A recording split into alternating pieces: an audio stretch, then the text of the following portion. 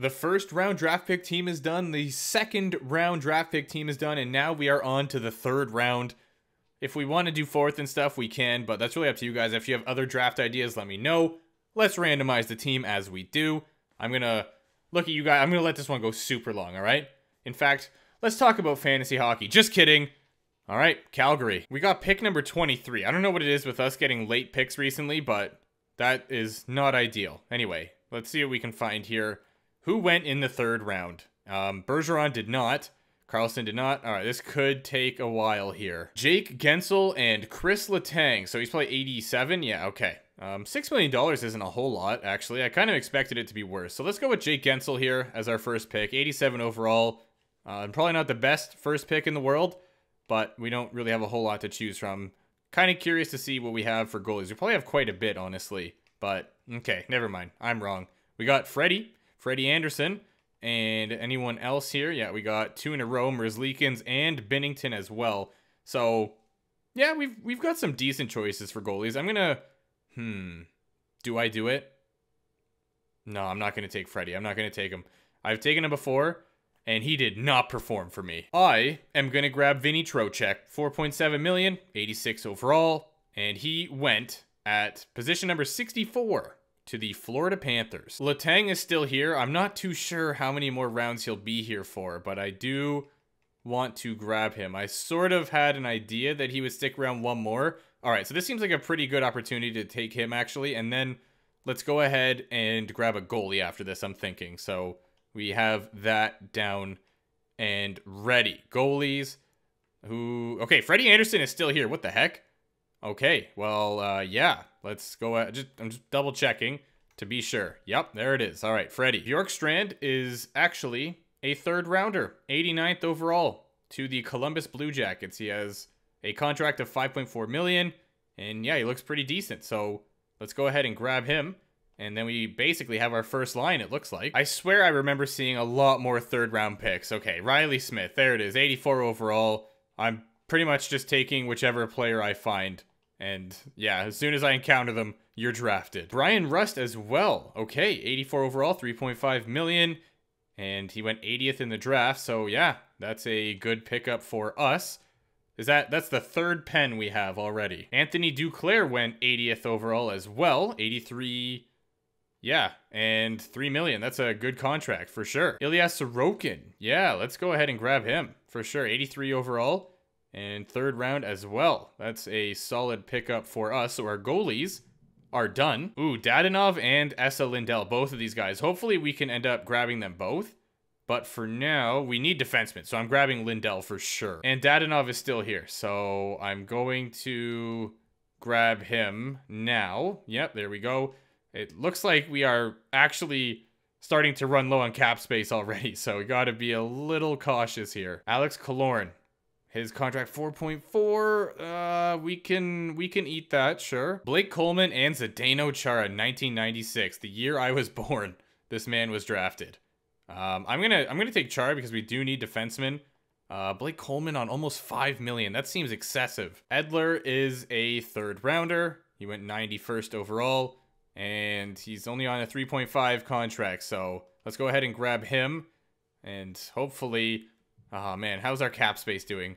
18 million, and we still need two more defensemen and four more forwards. Oh boy. I've kind of had to skip past some players because we genuinely just can't afford the cap. So I'm going to take McNabb for now, who is a third rounder and only making 2.5 million. So that will be a good grab for us. We have 16 left. Nick Cousins, there, yeah, 1.5 million. Absolutely. 68th overall.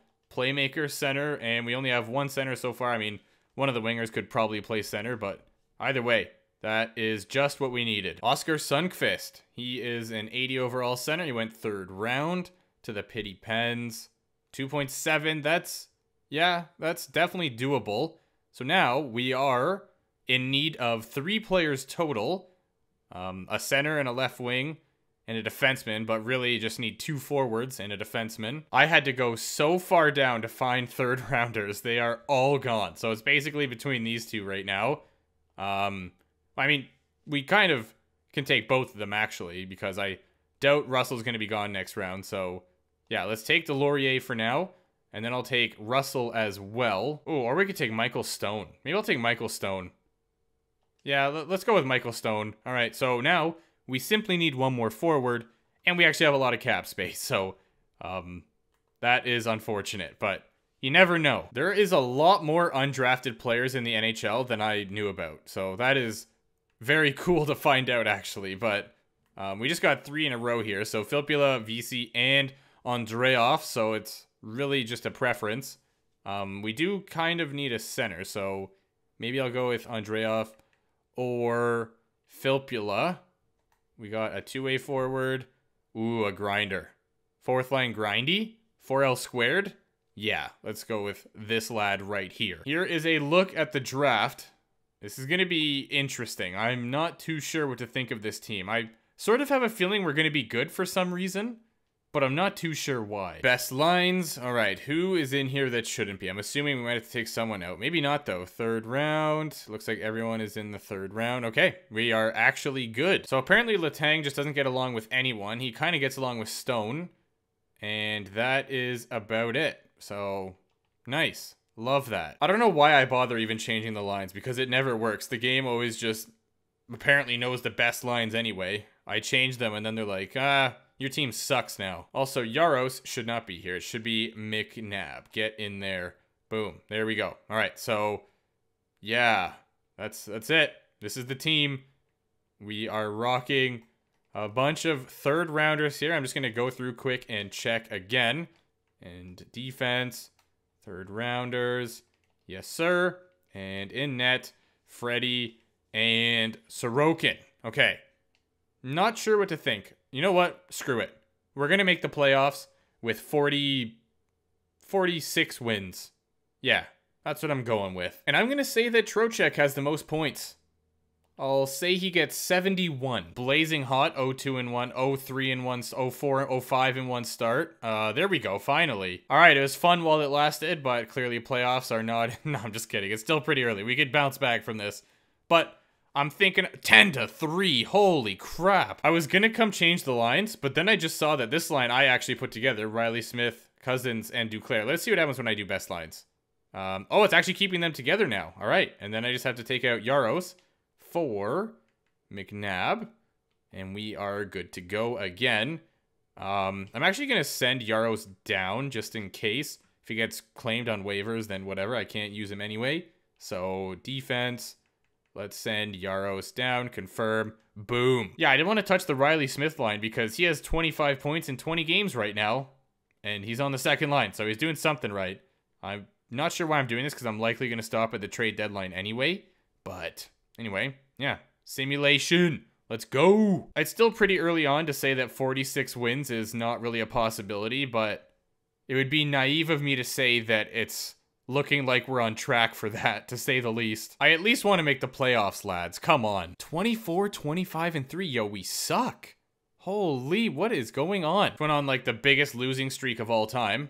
So I love that for us. I don't know. We can try to pick someone up at the deadline, I guess. But like, I really doubt that any of these players went in the third round. Um, Klingberg, when did he go? They're going to get taken. He went fifth round. Holy crap. These players are just going to get stolen from me. I already know it while I'm looking. So we were looking decent for a minute there. And then I don't know what happened, but we just had an absolute meltdown. And now playoffs are looking severely unlikely. Yeah, I can't find any players that went in the third round. So I think we're basically just out of luck here, unfortunately. Nothing really worth grabbing. Okay, well, whatever. Onwards and upwards. My favorite screen is still there. It's still in the game. It just doesn't last very long. So Klingberg and Lucic headed to Seattle in exchange for a first. Mateos and Honka. I thought it was going to be Julius Honka, but it wasn't. Uh, Weegar, Coyle, and Domi for a first. Beckman and Schneider. There you have it. It's not even like I can go do best lines and just hope for the best because this is best lines. This is what the game chose for me.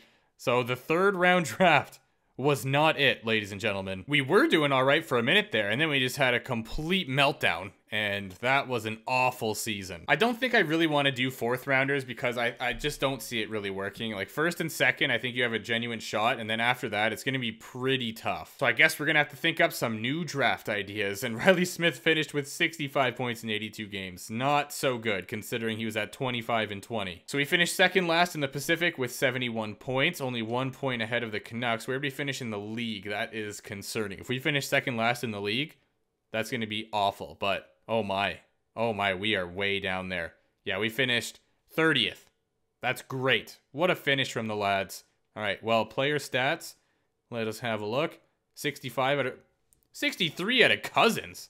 The heck happened there? Guentzel was 61. Trocheck 55 was a dash 33. Dash 39 out of Bryan Rust. Well, let's just scroll through all the players anyway. There you go. And then in net, we have Freddie, who did awful. This is why I don't draft him. And then Sorokin did all right. So, note to self never draft Freddie ever again. And we can go up to the entire league now just to see what happened there. So, Ben Bishop, 44 wins, a 914, 915 from Kuemper. Yeah, a lot of talented goalies here. Cal Petersen got an 898 and still had 38 wins. So, clearly the players carried that team. Let's have a look at the skaters. Eichel with 102 playing for the Hurricanes. Cooch 95, Malkin 93. All right, there you go. President's Trophy went to New Jersey. So let's actually go and view their lines just to see what makes them so darn special. Where's view lines? Can I still do that? Oh, our season's over. I guess I can't do that. That's stupid. Oh, wait, actually, no, I sim past the playoffs and everything. So did New Jersey win the Presidents and the Stanley Cup? Holy crap. I'm going to have to go look at their contracts, but here we go. The trophy, Stanley Cup, New Jersey, Presidents, New Jersey. Uh, the Campbell went to Nashville, and then obviously the Wales went to New Jersey. Eichel with the Art Ross and the Hart. Carlson gets the Norris. Kucherov with the Lady Byng. Trevor Zegras with the Calder. Ryan O'Reilly with the Conn Smythe. Vezina goes to Fleury. Kahkonen gets the William M. Jennings. The Bill Masterton goes to Alexiak. Lockhart gets the Jack Adams. O'Reilly with the Selke. Eichel with the Lindsay, Ovi with the Rocket Richard. All right, New Jersey, let me view your contracts here. What makes you so darn good, huh? Let me find out. They did have Ovi, so that is certainly a good piece to have right there. 94 overall. They had Ryan O'Reilly, who went up to 91 overall. Teravainen, Horvat, Parayko, Janmark at 84. Is that where he starts, or he must have gone up a little bit? No. Rasmus Andersson, Robby Fabbri. Oh wow, they are they they are solid for sure. They do have a good team. And in net, I can't remember. Oh, it was Kuemper. Yeah. He played very good as well. 87 overall. All right. So, and they had David Rittich as a backup. Wow. Wow, they had a good team. Their team is not going to be that good next year. They got to have some contracts expiring or something. So anyway, New Jersey absolutely cleaned up this simulation. They won the President's Trophy. They won the Stanley Cup without ever going to a Game 7. So that is a pretty convincing fashion. And they definitely did have a good team. I got to give it to them. So anyways, guys, hope you enjoyed the video. Although this one was a little bit of flop. I feel like there was a streak there where we wouldn't make the playoffs ever. And honestly, I don't remember the last time we haven't made the playoffs. It could be recent. I don't exactly remember, but I feel like we've at least made the playoffs in the last several. Anyways, thank you for watching. Um, leave suggestions for drafts down below. And I will see you soon.